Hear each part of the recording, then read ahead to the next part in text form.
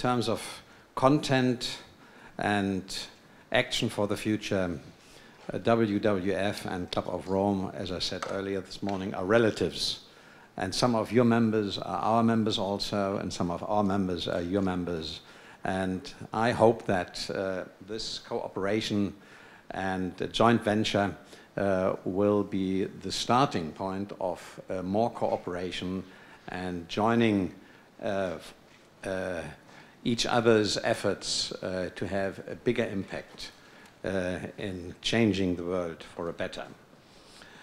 Yesterday evening, um, between, or this morning, between 12 and 1, I was in bed and um, uh, looking at the election results in Greece, France, northern Germany, and um, these were another three governments wiped out on one day after the majority of European governments now having been wiped out over the last 12 months at a uh, high-speed process which we have never experienced in the past. And then I looked at my iPad version of your book, Jürgen, and I wanted to read a few more pages again. And I said to myself, how can one be so courageous to write a book about 2052 if at this point of time in our life changes are so fast that we have no solid foundation from which to plan or to extrapolate and at this high speed internet time of changes we live in, who knows what is happening in 20 years, 30 years? Are the demographic uh, extrapolations correct?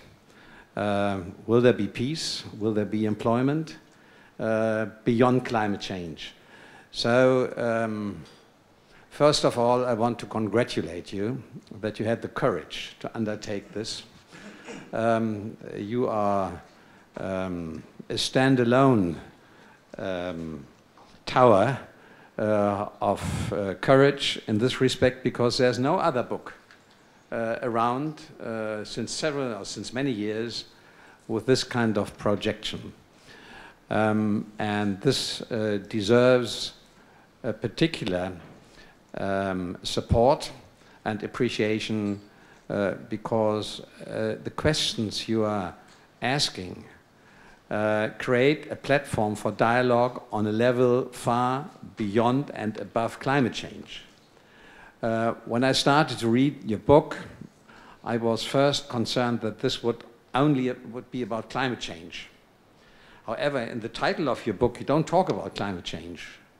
It's a forecast for 2052, and the word climate change is not part of the title.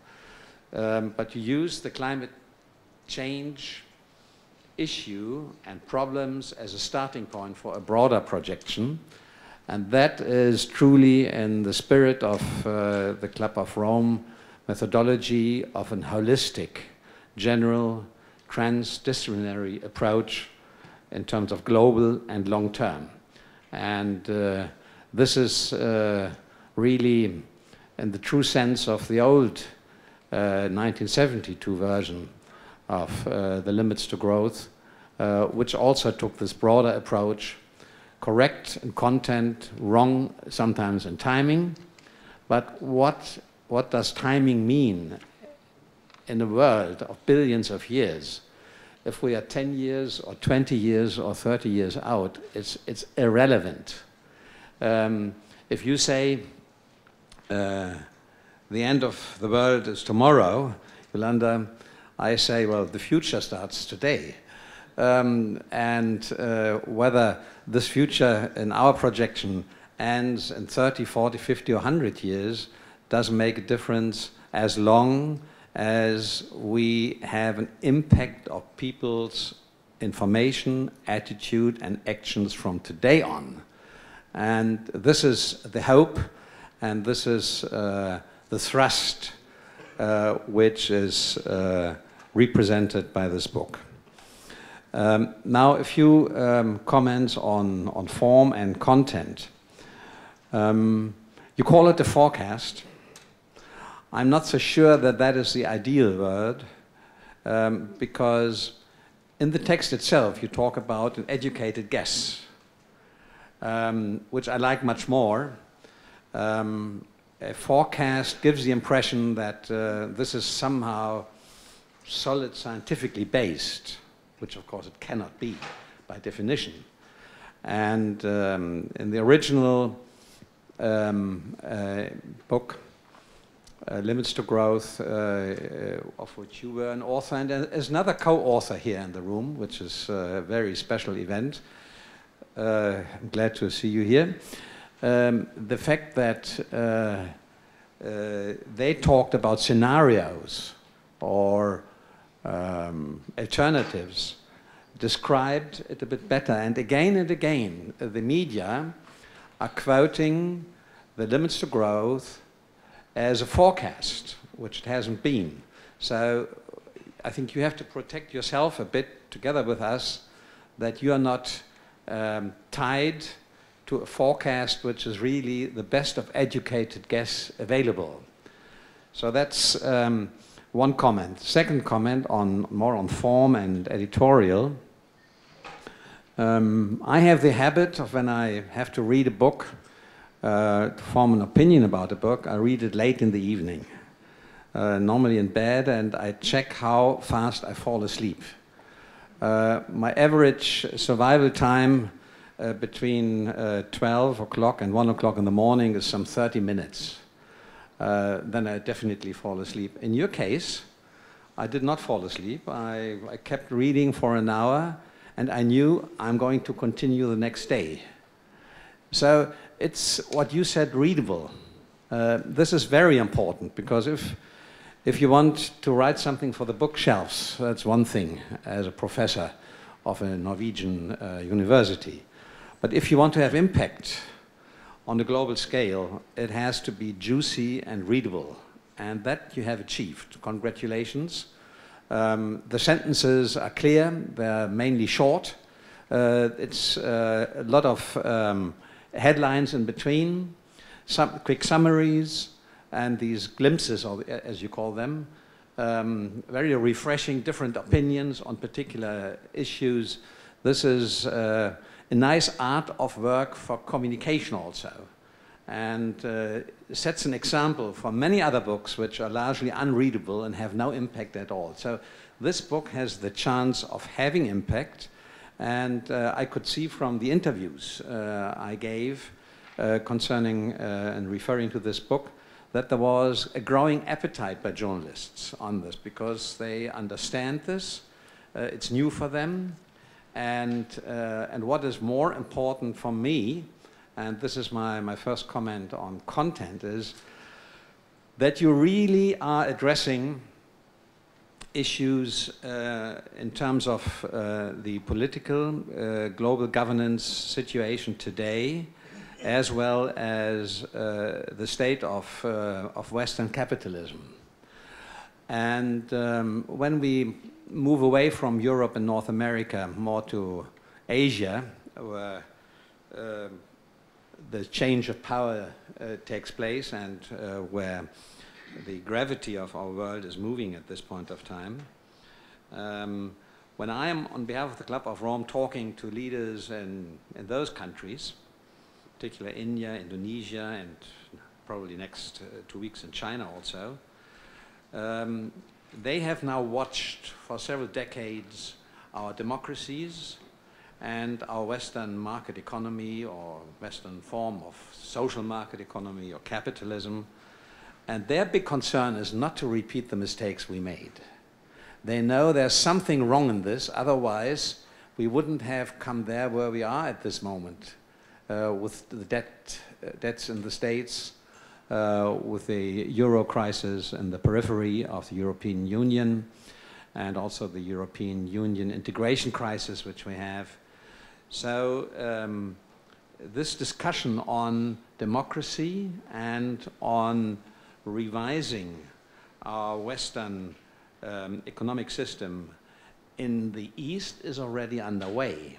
And it's slowly spreading uh, to the West also. And um, what you uh, label as uh, short-termness uh, is more than that. It is something which does not get the support by the electorate anymore. Uh, the latest surveys in Germany show that more than 50% of our voters uh, do not support the free market economy, in spite of the socialist economy in Eastern Germany only 20 years ago. So the distortion of wealth and income between the very rich and the very poor and the big gaps in the middle are having uh, their own dynamics. And you're addressing this very shortly, very condensed, because it's not your main issue, but to position climate change in the context of political, local, and global governance on the one side and the shortcomings of Western capitalism gives climate change a different dimension for discussion. And it shows that the effects short-termism has in political and also in economic terms, and it ties the things which are interdependent together.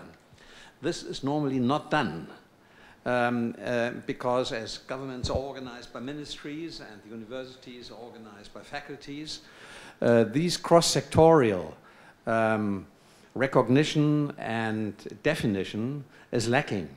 And this is something which, uh, uh, where you really create a much broader and more important and valuable platform than others uh, have done or have not even tried. So the fact that, that climate change is put into this context will give the discussion on climate change a, a broader dimension in the future because it's tied to those things which are already under question and will, will be like a turbocharger uh, for um, making sure that we are not only taking a long-term view, but that we are taking action under the views of long-term thinking. And it certainly will also encourage a further discussion on uh, revising our democratic uh, party systems. Uh, these too short election periods of four years will come under, under, under criticism again. And also the fact that there are so many parallel uh, election campaigns taking place in our countries and between our countries inside Europe is something which creates a focus on short-term political achievements and the retention of power rather than long-term thinking. So these things have to be adjusted without throwing democracy overboard. Democracy has to be revised. And we know how difficult this is in America. But it will be easier in Europe uh, because the understanding for the shortages of short-term thinking here are, in my mind, in Europe, a bit better. Uh, than in other places. Another uh, issue in terms of content are your regional differentiations. We live in a period where Europeans and Americans largely believe what we are having, in spite of it not being perfect, would be the best also for Iran and China.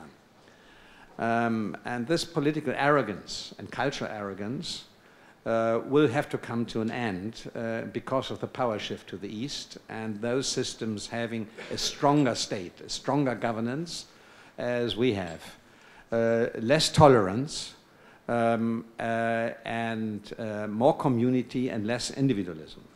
So this direction can be seen already with the shift of power and rather this taking a revolutionary uh, developments, uh, it should be an evolutionary process. And your book will contribute to that because it ties this phenomenon together with climate change and the discussion on capitalism also. So um, uh, the, the regional differentiation um, is a, a signal to us in the West that what is fine and good for us is not necessarily as good and as fine for other countries. And we should have a bit more tolerance in our global um, agenda uh, rather than trying uh, to be uh, uh active on human development and human rights in China. We have to be open uh, on this and, and put it on the agenda in a formal, practical way and not from an ideological, but from a from the point of view of, of environment, of employment, and of peace. If we uh, reposition this discussion from ideology to practical application, uh, then this differentiation between those countries is much easier to handle and we have a common platform for dialogue. So I do hope that uh, this book is understood by the media and by the intelligent readers uh, that this is a broader agenda than just climate change. So in summary, I must say uh, it's a great achievement. I congratulate you. And it is written in the true sense of the Club of Rome's beliefs and methodologies. Thank you very much.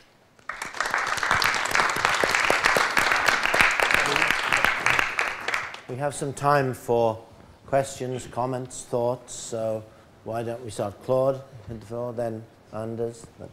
So Claude, uh, one, two, three. We'll do a, two or three comments and then we'll, we'll come back. I have a question for Jürgen with regard to how he thinks people should understand his book. Because the, the first uh, Club of Rome book um, was often bad-mouthed and abused, I think for two reasons. One reason was that people didn't like the message because they didn't believe in limits. But secondly also because they did not understand that these projections, the modeling, were not predictions or forecasts. And you yourself, Jürgen, you have often said to me that people don't understand, they don't make that distinction. Now, I haven't read the book, and, and Eberhard von Koerber just alluded to this point, but I would like to hear you, because you always use the word forecast now, that, that's a prediction, whether, in fact, you have gone away from what you believed was an important principle that should be understood in the, in the first Club of Rome book, 1972.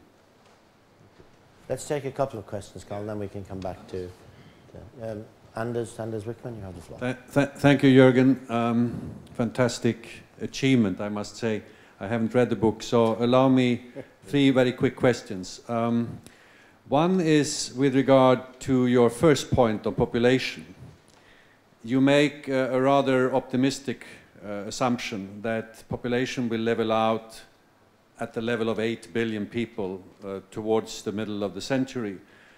At the same time, your contention is that the low-income countries will not really take off. Now, to me, that is a little bit a contradiction because fertility rates are particularly high in the poorest countries. Uh, and how you how you get this equation together, I, I, I simply don't understand. Secondly, uh, climate sensitivity. Um, I wonder to what extent you have taken in the latest research with regard to both slow and, and, and more long-term feedbacks, um, not really relating then to, to, to, to, the level of greenhouse gas concentration, rather to what's happening when the albedo is changing, when methane is leaking, etc. These seems to me to be, be the real dangerous possible tipping points. And, and do you have a comment there? And lastly, you didn't say a word about ecosystems and biodiversity. To me, the pressure on those systems, um, whether we talk about resources or we talk about uh, the diversity in, in, in, in, the ecosystems, is a major, major challenge. And, and even if the economy would grow somewhat slower than what OECD and others predict. Uh, I don't get it with, with the kind of organization of the economy we have that, that, that we can sustain these systems. Should, should we take one question? One? Well, I was going to ask the gentleman over here had his hand up first, and I'll come back. We'll do three and then we'll ask Jürgen, I haven't uh, had a chance to read your book, but I glimpsed uh, in it and I saw that uh, for further reading you refer also to the book of Paul Gilding, The Great Disruption. Paul has been a couple of times in the Netherlands and attracting great crowds. You start from the same point, you have a similar vision, but Paul Gilding in his book is uh, basically saying we will have a great disruption So there will be no smooth graphs as you showed, but there will be very steep declines in earlier years with maybe recovery in later years. Could you please tell us what is your view on Paul Gilding's views? Gary, do you have one more question? Why do you, you ask then? I think four questions is the, the limits to questions. and then we'll ask uh, Jürgen. Well, thank you, Jürgen. Uh, certainly you've created an, an eagerness to read the book. So my question wouldn't be there probably if I had that opportunity first. But uh, Anders said you started with population, but uh, uh, the population itself is linked to economy. What, from economy, you have come to your ecological projections, I, is what I understood. What were your basic assumptions about uh, or reasons for the projections on economy which drive the whole rest of the study? Okay. Yeah. Carl, do we need the microphone here? No, oh. I, I, oh, you have a microphone. Okay, sorry. Uh, Jürgen, you have the floor. Well, thank you for uh, the comments and for the questions. Uh, I'll uh, have four responses to the comments, which I'll do in the end, and then I'll respond to the questions first. Uh, thank you for the flatter, by the way. That's the starting point. So first, Claude. There, I'm a future scientist, and there are two different types of, of analysis futurists can be making. Either you can making forecasts where you basically say that the weather tomorrow is going to be sunny and that the revolution is going to happen in 2020 and that the weather is going to be warmer in 2040. That's a forecast. And a forecast is has varying qualities. You know, in some systems you can make forecasts that have a high likelihood of being true. In other areas, like in global forecasting, like the one I'm doing here, the likelihood that your exact forecast is, is correct is somewhat lower. I'll return to that issue, but that's forecasting. Scenario analysis is basically to try to think through the consequences of various ways of action. You know, that, so if we do like this, then this will happen. If we do that, this will happen. Again, the quality thing is the same, that in some systems you can actually make very precise scenarios because the system is predictable. In other uh, areas, like what we're doing here, that is not the case. So that's just in order to define the words. Limits to growth, the 20-year update and the 30-year update, where solid scenario analysis. You know, these were. In 1972, we described 12 different possible futures of the world, starting with some scenarios that have resource crisis, then pollution crisis, then food crisis, then erosion crisis, etc., gradually moving into saner types of futures where you know, population control was tried or lower income uh, growth was tried, and then finally sustainable policies were put in place in the model system in order to create our 1972 sustainability scenarios. And so, yes, limits to growth was a scenario analysis. It showed a number of, of, of possible futures, it made the point that from the point of view of the authors, you know, a number of the early, the crisis scenarios, were very unattractive. And so we thought that society ought to try to put in place the types of policies that shifted the world more likely into the later uh, scenarios. And we stuck to that thing because this is the only type of thing that you can do scientifically speaking, you know, and we did so for 30 years. Uh, then we were about to write the 40-year book. And of course, there are no other authors of the 40-year book because the rest of the gang is either dead or didn't think this was a good idea. And so uh, I had then to make the choice. Should we make another scenario analysis or would it actually further the cause better to make an educated guess or to make a forecast which of course has huge uncertainties because of the inherent uncertainty of the global system. And so I concluded that it is more interesting now to try to make a forecast. One main reason for that is what I said openly at the beginning. The main audience for this book is me. Jorgen. You know, I have no wasted my time. 40 years I've worried and tried to make the world become a sustainable place. It hasn't had, it has had very little impact. So now I wanted to know what the next 20 years is going to look like. And so I needed a forecast in order to get some peace in my tortured mind.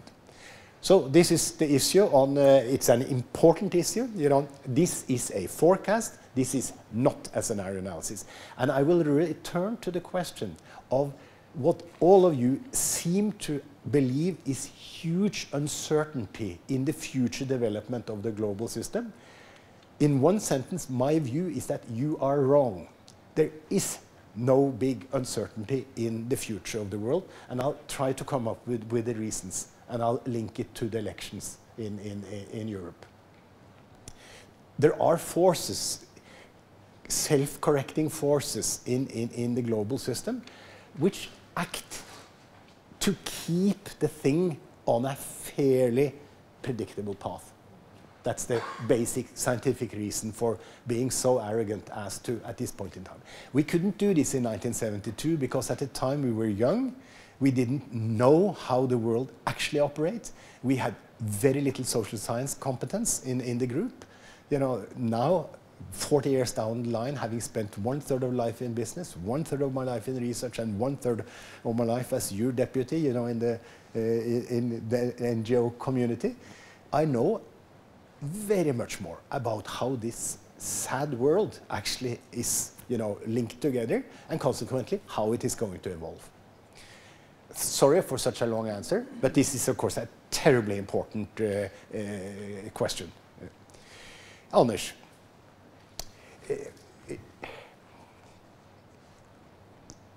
it is very important.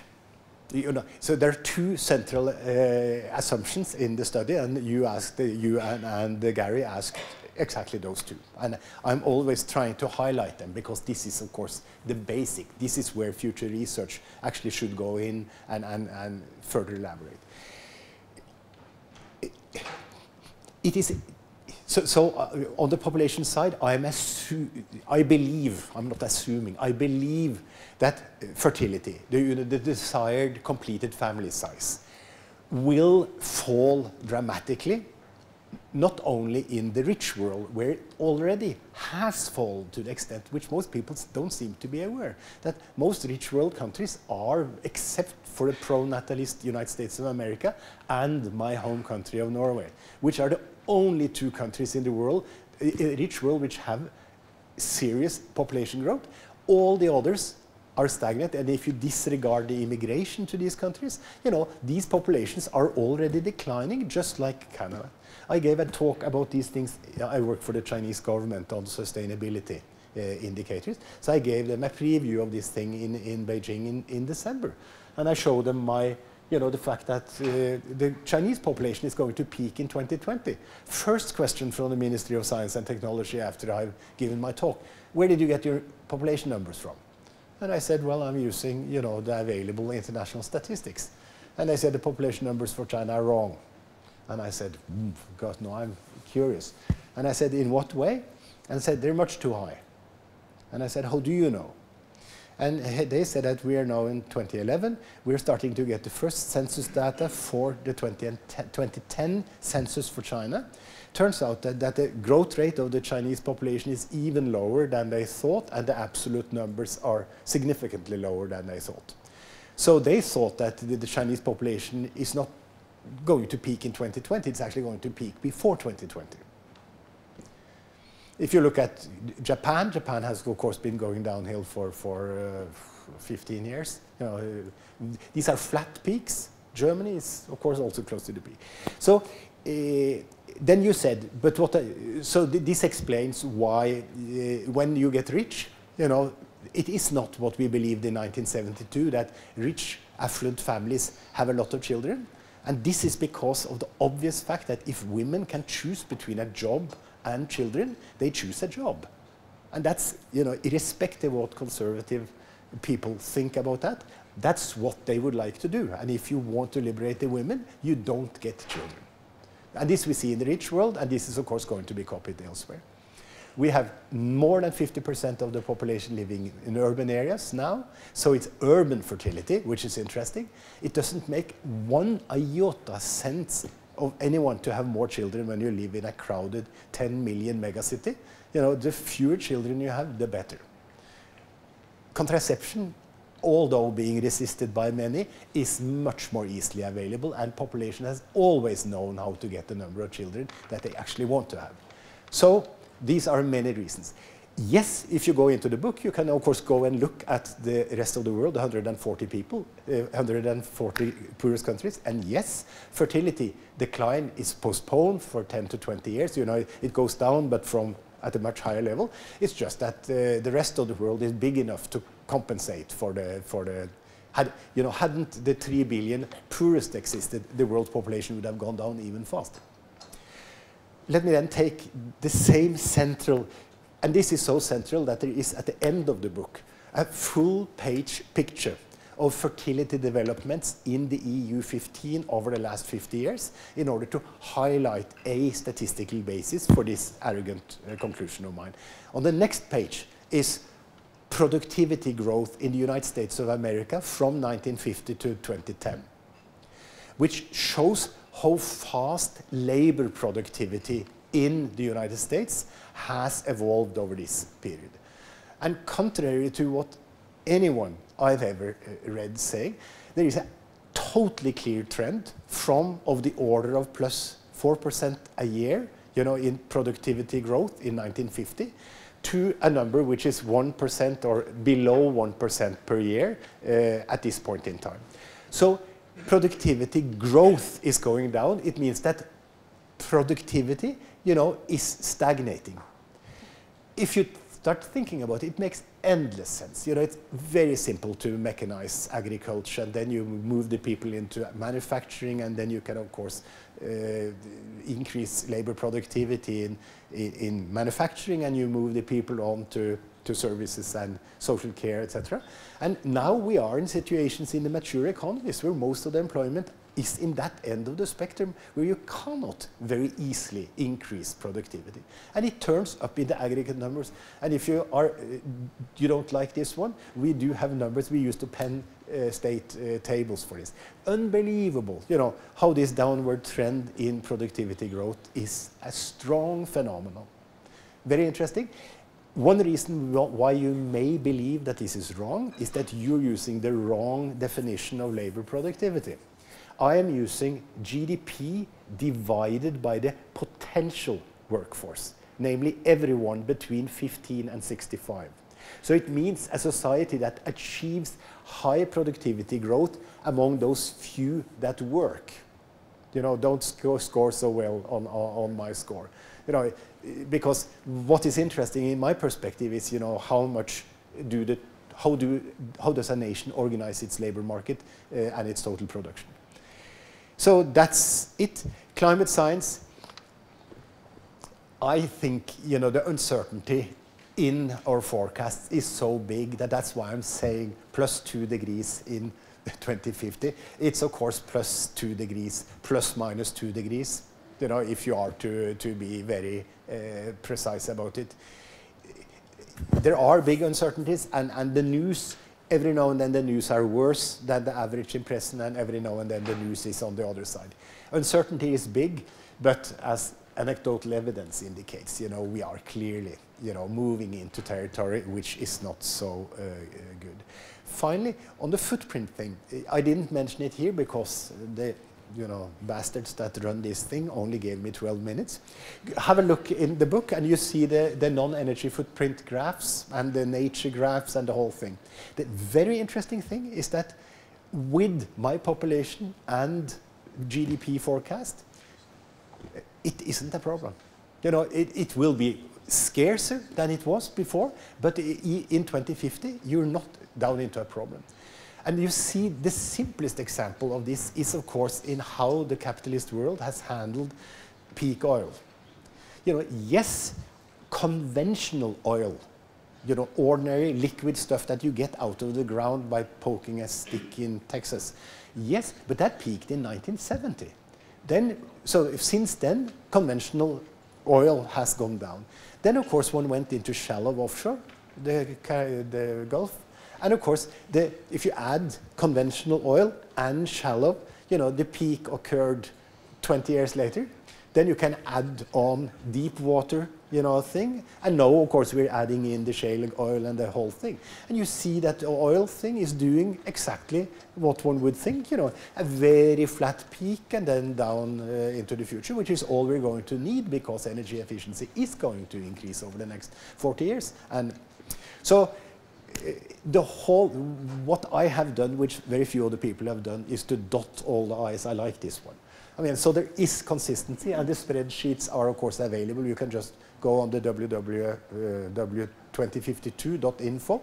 There is the whole schmear. And you can go in and change your numbers and, and do the thing uh, the way you want to.